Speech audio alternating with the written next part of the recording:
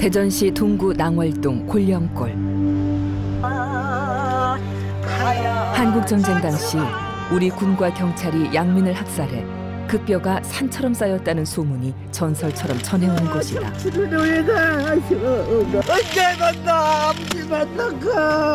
보고 싶어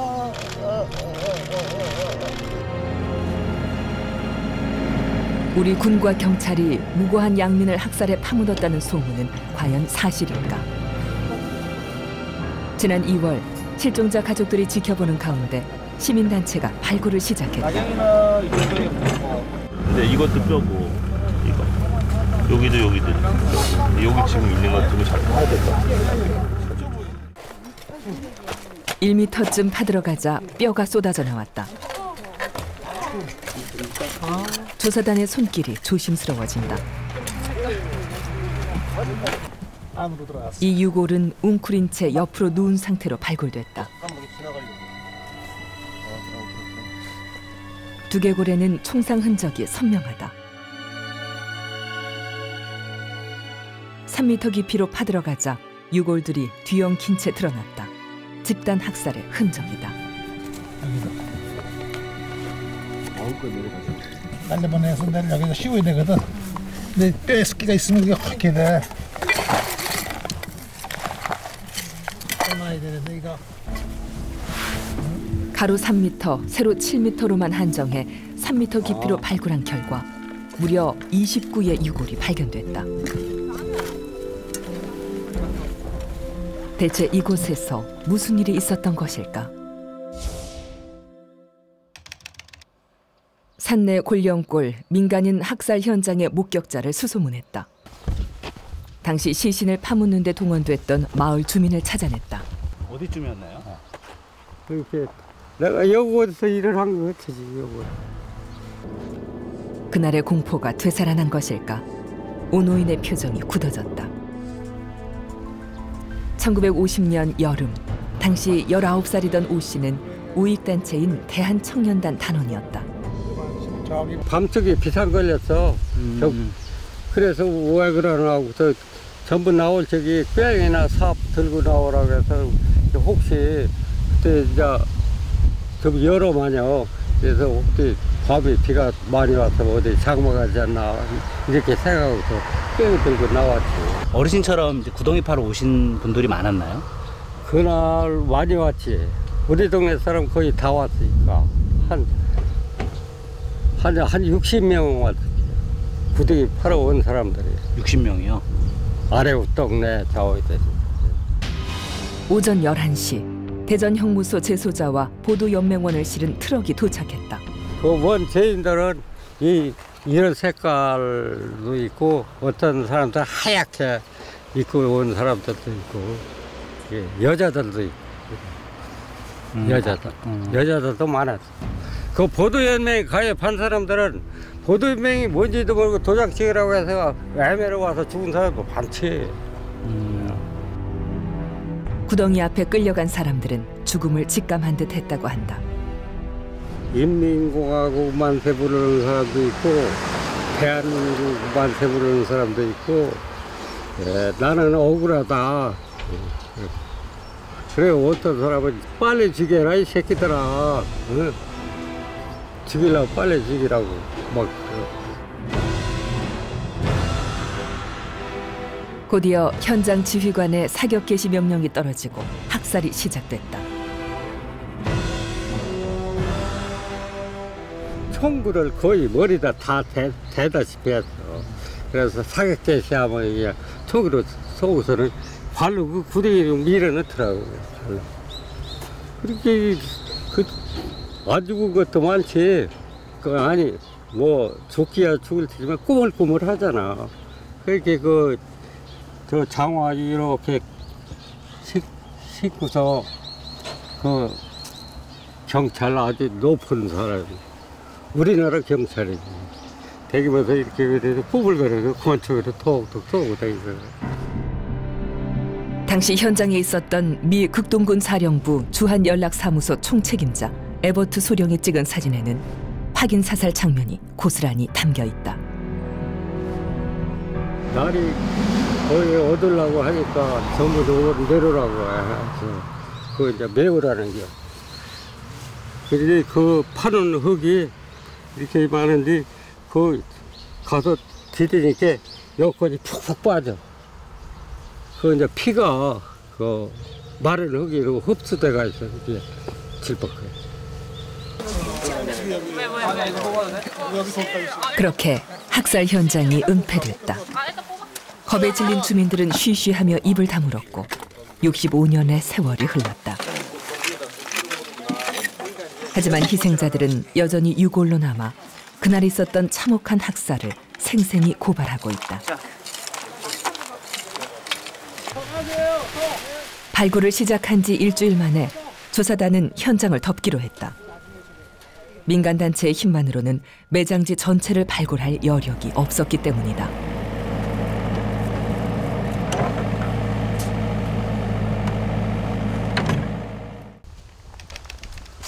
전체 학살 현장에서 극히 일부분이 드러났을 뿐이지만 이번 발굴은 우리 사회에 중요한 과제를 던져주었다. 아유. 안전하십니다. 아유.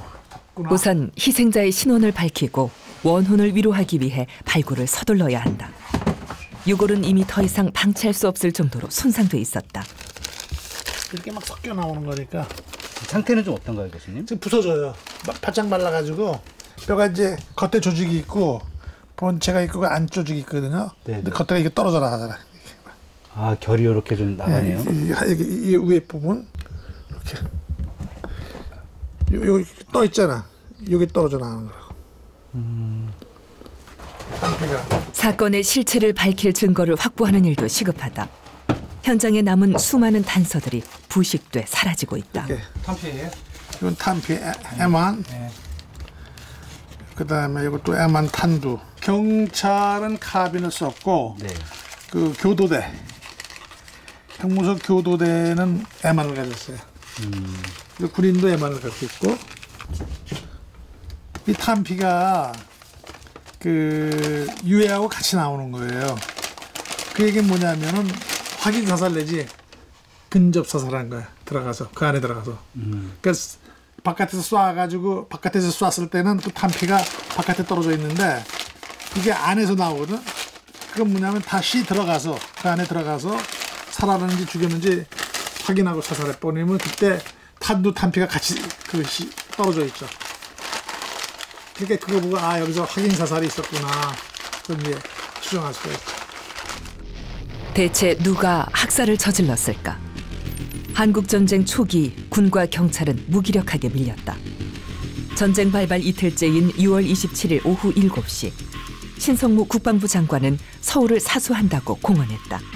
전왕후전으로 천도를 중지하였으니 국민은 동요하지 말라. 육보는 서울 사수를 결의했다. 그러나 그날 새벽 2시 이승만 대통령과 관료들은 이미 특별 열차를 타고 대전으로 도피한 상태였다. 서울 시민들은 뒤늦게 피란에 나섰지만 때가 늦었다. 6월 28일 정부가 한강 철교를 폭파하는 바람에 오도 가도 못하는 상황이 됐다. 그보다 앞선 25일 오후 2시 전국 경찰서에 보도연맹 예비 검속 지령이 하달됐다. 명령을 내린 사람은 내무부 치안국장 장석윤. 이때부터 전국 각지에서 보도연맹 관련자들이 체포돼 구금됐다. 보도연맹은 좌익 인사를 계도한다는 명목으로 이승만 정부가 전국 단위로 결성한 광변 단체였다. 대전시의 경우 시장과 검찰, 경찰 등 고급 관료들이 간부를 맡았다.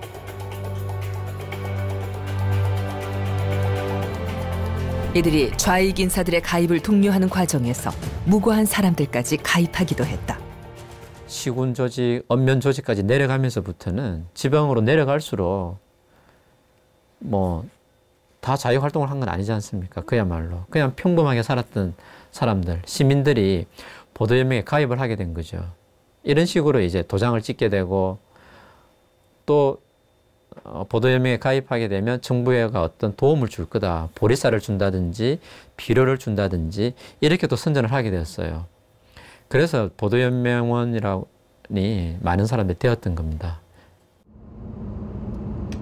6월 25일부터 대전 충청 지역 보도연맹 관련자들도 속속 체포됐다. 당시 9살이던 허 씨는 아버지가 끌려가는 상황을 생생히 기억하고 있다. 내가 기억하는 것은 막 누가 뱀을 두드리는 새벽에. 난 새벽인지 뭔지 모르지 했더니 그런데 어머니가 나가서 문을 따니까 옛날에 지서 순경이 그 이제 칼비축 미고 맞잖아요. 나- 나도 기억하죠. 그러니까 지서에 회의가 있으니까 아버지를 데려왔다. 그래가지고.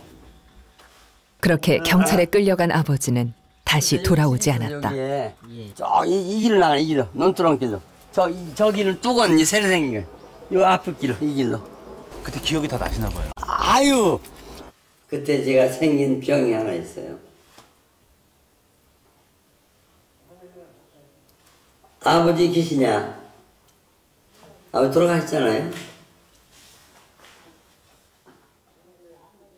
나는 아버지 왜 돌아가신지 모르잖아요 어린이 아니 그렇게 그 얘기가 서러운 거야 아니 살아계신도 죽은지 모르는데 그 얘기 묻는데 그때 병이 하나 딱 생겼죠.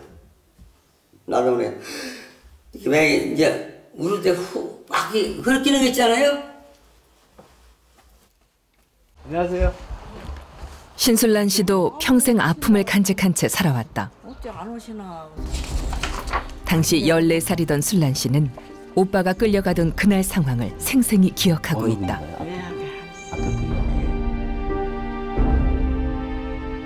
오빠가 뒷문을 열다가 닫으시더라고요. 닫고 남문을 얼른 열고 나가시더라고요. 나가는 게 뭐 말을 하는 소리가 나요. 그래서는 나가보니까는 온이들이 그냥 밧줄에 묶여서 마당에 끌렸더라고요. 내 잘못이 뭔가 너희가 말을 하야 난 가지 안 간다.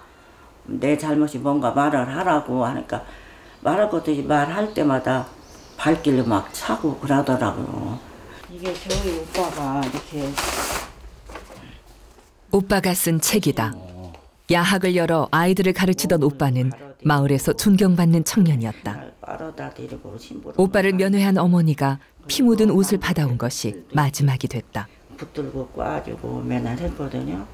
전부 피투성인데 진짜 이 살같이 묻어난 것 같아요. 다 이렇게 묻어 있는 듯하고 피가 말도 못하게 그냥 그 그랬는데 우리 가족들도 그때는 대문을 걸어 잠궜지만 소리 내서 마음 놓고 울도 못했어. 위험을 직감하고 피신한 사람도 있었다. 보도 연맹원이었던 박 씨의 아버지는 예비 검속을 피해 숨었지만 어머니가 대신 체포되는 바람에 할 수 없이 자수했다. 아버지가 보도 연맹에 가입을 했는데 어머니가 이제 이제 보도 연맹 붙잡으러 다니니까 아버지가 피신했다가 어머니가 대신 붙들려 갔다는 거죠.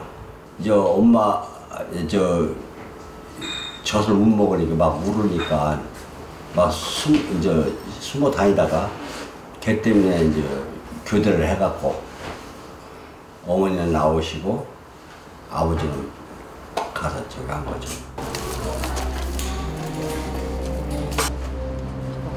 대전 지역 보도연맹원들은 각 지역 경찰서나 대전 형무소로 끌려갔다. 당시 대전 형무소 수용 가능 인원은 1,200명. 그런데 한국전쟁 당시 일반 재소자와 보도연맹 관계자 등 4,800명 가까이 수감돼 있었다. 그 무렵 형무소 옆 충청남도청에는 피라논 대통령과 관료들이 머물렀다. 6월 27일 대통령이 보도연맹 처단 지침을 내렸다는 증언이 나왔다. 증언자는 한국전쟁 당시 헌병대 6사단 1등 상사로 근무한 김만식 씨였다. 그 선생님도 직접 총을 쏘셨나요? 예, 저도 직접 쏘고 제가 거기 예, 총살 총 책임자였습니다. 아, 당시에 계급이 어떻게 되셨어요? 헌병 1등 상사였습니다. 예, 그 보도연명원을 처형하라는 그 지시는 어떻게 언제 내려온 건가요? 그 전에 벌써 이미 상부에서 지시가 내려왔습니다. 보도혁명은 적이다. 제2의 적보다도 더 강한 적이니까 어, 사살하라는 명령 받았습니다. 그 당시에 상황이 하도 위급하기 때문에 대통령이 특명으로서 군대, 예, 특명으로서 군대장급 이상 지휘관은 자기 부하도 어, 명령이 불복하면 사살하라. 그런 것과 동시에 남로당 계열인 보도연맹은 전부 총살시키라는 그런 에, 그것을 구두로 연락받았습니다. 그게 언제죠? 그것이 그러니까 6월 27일인가 그런 적입니다. 남로 그 남로당이나 오면 관련을 처형하라는 것도 대통령 특명으로 들어있었어요. 예, 예. 6월 28일부터 대전 형무소 재소자와 보도연맹원들이 골령골에 끌려가 처형됐다. 눈을 가린 채 전기줄로 굴비 엮든 몇 사람씩 묶어 트럭에다 이중삼중으로 실었습니다. 기둥을 박아놓고 거기에 죄수들을 매달아 세운 다음 사격을 했습니다.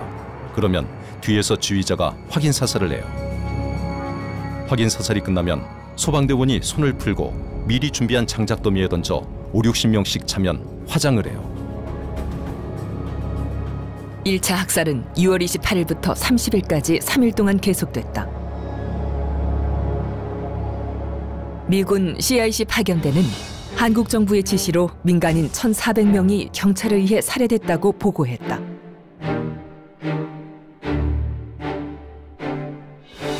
(7월 1일) 이승만 대통령이 비밀리에 부산을 향해 피신했다.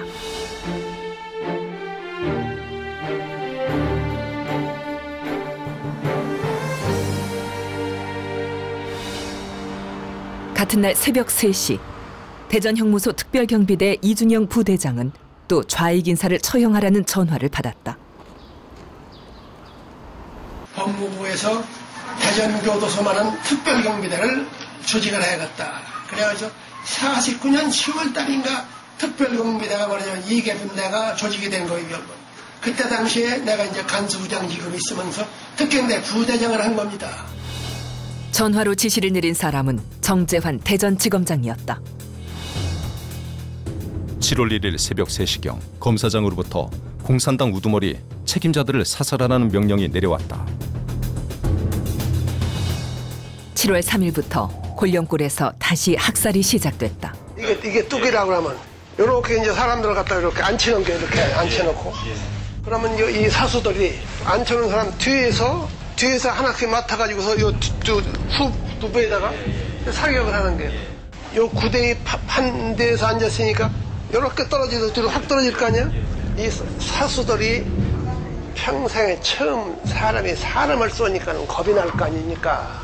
그러니까 가깝게 쏴도 정통을 못 쏘고서 옆구리를 쏜다더니 버들도 떠르니까 내 뒤 이렇게 하고서 지나갔거든 항해사슬하고 저 뒤에서 나보고서 부장님 나 좀 한 방 쏴주시오 그런단 말이에요 이게 무슨 놈의 소린가 하고서 이렇게 쳐다보니까 자기는 설 맞아서 고통스러운데 내가 모르고 그냥 지나간다 이 얘기요 저는 들어서 보니까 그게 나 빠졌다고 나 좀 한 방 더 쏴서 얼른 고통을 면하게 해달라고 그게 활칵 그 소리를 들을 때 이, 눈물이 주르륵 나오면서 말이지 이렇게 골령골에서는 세 차례에 걸쳐 민간인들이 재판도 받지 못한 채 처형됐다.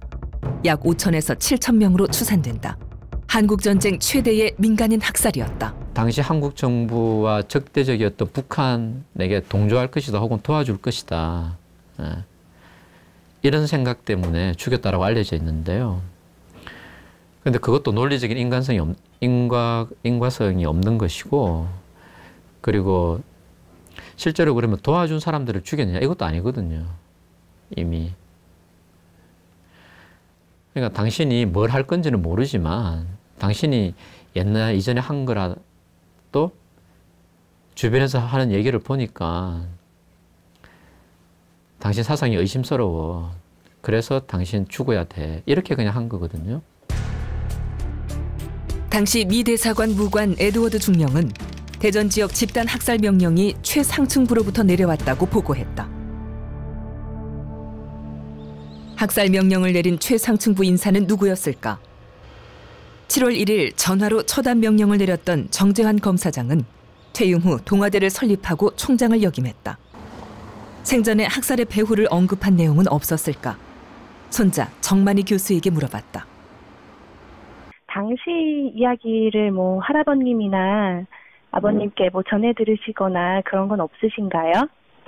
전혀 저는 그 분야에 대해서는 그 당시 얘기는 들은 게 없네요. 아 전혀 도- 전혀 돌아가시기 전에 아무 말씀도 없으셨어요? 네, 네, 전혀 모르겠습니다, 저는. 네. 군부의 학살 책임자는 누구였을까? 골령골 학살 현장의 군인 지휘관 중 한 사람은 훗날 성신학원 이사장을 역임한 심용현 중이었다. 헌병대 심용현 중위가 형무소로 찾아와 수감자를 인도하라고 지시했다. 심중위의 명령으로 확인 사살에 동참했다. 심용현 중위는 누구의 지시를 받았을까? 아는 바 없고 인터뷰 요양 없, 없는 걸로 정리를 하시네요. 총장님한테까지 이제 연결은 되긴 된 건가요? 그건 모르겠습니다. 제가 비서팀장한테 얘기 들었습니다. 저는 저- 저희 쪽에서는 제가 할 수 있는 건 그거거든요. 비서팀장한테 예. 물어봤고 예, 예. 비서팀장은 어, 거기에 대해서 하여튼 뭐 인터뷰 요양 없, 없다는 걸로 말씀하셨다고 그래요. 심화진 성신여대 총장은 끝내 연락이 닿지 않았다. 한국전쟁 희생자 유해 발굴 현장입니다. 대전 산내 골령골 민간인 학살 사건이 세상에 알려진 건 2007년. 당시 가로 2m, 세로 5m를 발굴했는데 좁은 구덩이에 오열 중대로 누워있는 유해 34구가 발견됐다. 진실 화해를 위한 과거사 정리위원회는 대전 산내 학살이 최고위층의 지시로 군경의 수사정보기관이 일사불란하게 동원돼 실행됐으며 국가가 가해자라고 결론냈다. 저는 대통령으로서 국가를 대표해서 당시 국가 권력이 저지른 불법 행위에 대해서 진심으로 사과드립니다. 무고하게 희생당하신 분들의 명복을 빌고 유가족 여러분께 깊은 위로의 말씀을 드립니다. 당시 진실화해위원회는 국가가 위령 사업을 지원하고 역사 기록을 정정하라고 권고했다.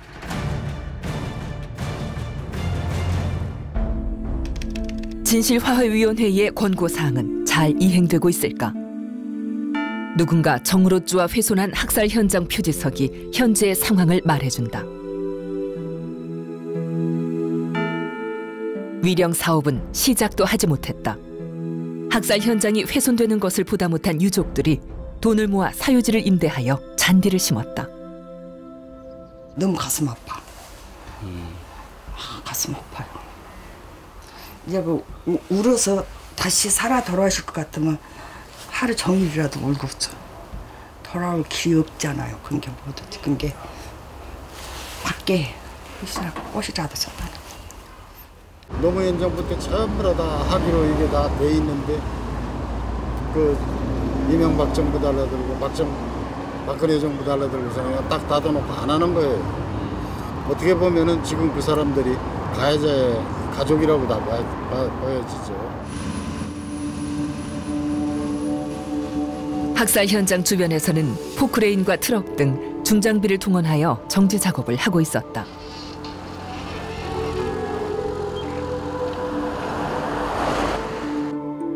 유해가 묻혔을 것으로 추정되는 매장지 위에는 교회가 들어섰다. 매장지를 일구어 농사를 짓기도 한다.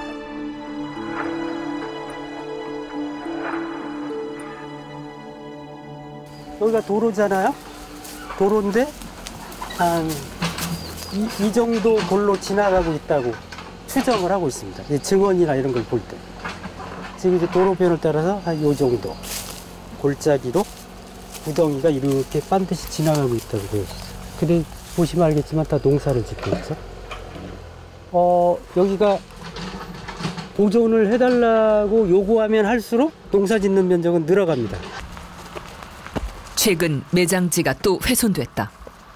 여기가 몇 달 전까지만 해도 다 산이었어요. 근데 이게 지금 농경지로 다 바뀌어 있죠. 야산을 깎아내 밭을 만든 곳에 포크레인 자국이 남아 있다. 이곳은 학살 현장에서 수습한 유해를 묻은 곳이었다. 그 온전한 형태의 두개골이나 그때 확인했던 유해들을 수습하지 않고 이 자리에 다시 그대로 어, 묻어놨는데 그것까지 통째로 다 없어져 버린 거죠. 야산을 개간하는 과정에서 이 유해들이 사라졌다는 것이다. 밭주인의 가족을 만나봤다. 동네 분들이 이제 작년까지는 그냥 야산이었는데 올해 와 보니까 그게 가설돼 있다고 그러시더라고요. 그게 지금 무슨 상관이 있어? 네? 무슨 상관이 있냐고 이게. 아 그 야산에요. 그 옛날에 이제 6.25 때 이제 유해가 거기 있을 거라고 이제 생각들을 많이 하셔가지고요. 거기 했대요? 네. 그걸 봤대요? 그걸 봤냐고 실제로? 아, 그, 그렇게 말씀하시는 분들이요? 예. 2007년에 뭐 6월에 나오긴 했다고 하더라고요. 천만에 어르신은 그런 내용 못 들으셨어요? 네? 그런 내용 못 들어보셨어요? 내가 여기 80년 동안 사는데 그런 여기는 없어. 여기는 없고. 어, 예. 자미스 주름 묻었지, 자미스. 그동안 유족들은 매장지 안내판을 세워달라고 요구했지만 거부당했다. 대전 동구청은 정부가 준 안내판 예산마저 반납했다고 한다. 2009년도, 2010년도의 경우에는 2년 동안 어, 정부기구인 진실 하회를 위한 과거사위원회에서 어, 여기다가 그 안내 현장 안내판 유해 매장지임을 알리는 안내판을 설치하라고 돈을 내려줬어요.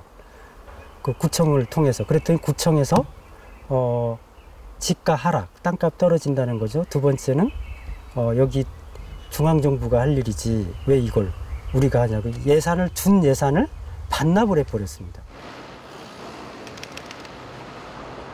유해 매장지 안내판조차 설치하지 않고 학살 현장을 방치하는 데 대해 유족들이 항의에 나섰다. 대전 동구청장과 면담이 성사됐다.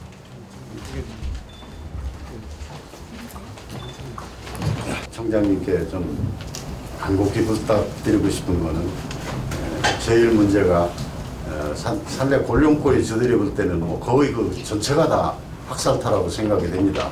그래서 이곳을 에, 유해 발굴하고 에, 국가로부터 모든 일이 다 되기 전까지 현장 보존에 좀 동구청에서 좀 책임을 주셔 져 주셔야 될 거 아닌가 싶어서 감히 청장님에게 요구를 드립니다.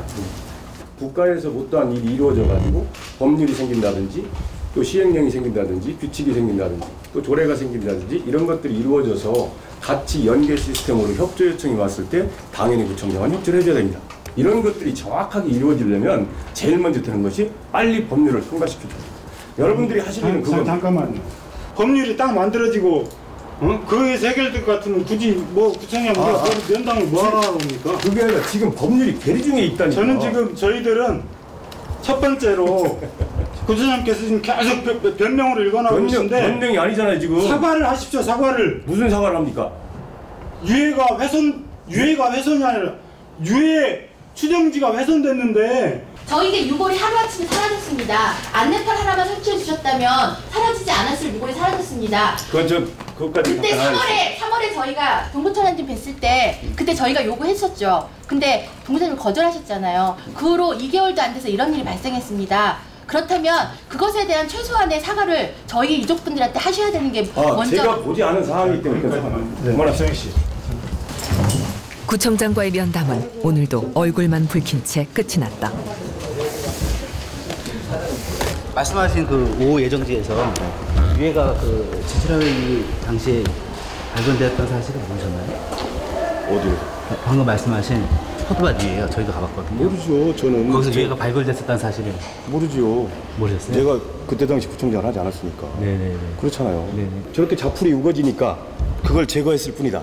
그러고서 농사 지켜서 좀 폈, 폈을 뿐이다. 네. 그런 거거든요. 그럼 하지 말라고 그랬다고 제가 했잖아요. 제가 현장 가서. 이미 파헤쳐졌잖아요. 아, 파한 게 아니라 이렇게 긁었다니까 좀 우회를. 그렇다면 산삼토를 탔던데요. 그건 전에 한 거예요. 그러니까 전에 한 거예요. 그 안내 표지판 세우는 게 그렇게 힘든 일인가요? 시에서 뭐 그게 그렇게 힘든 일이 아니라 네네. 서로가 대화가 있고 순리에 의해서 풀어나가야 된다고 얘기를 했잖아요.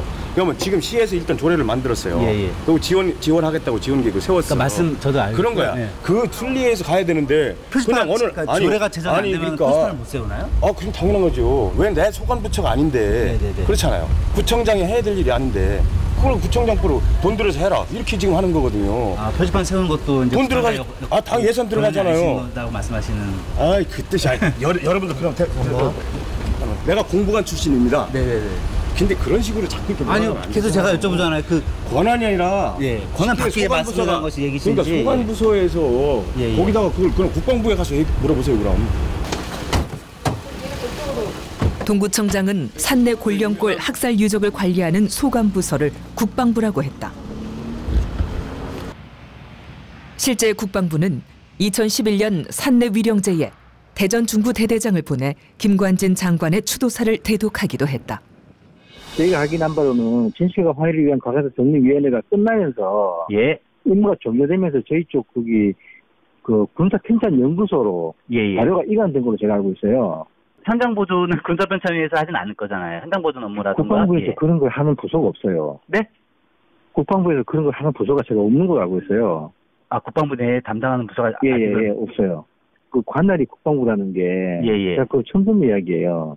보상을 해줘야 된다 그러면 보상이나 그런 것들 뭐, 뭐 하는 것들은 다 보훈처에서 하거든요. 국방부는 유가족 보상 등의 문제는 국가보훈처 소관이라고 떠넘겼다. 민간인 학살 사건이 있었거든요.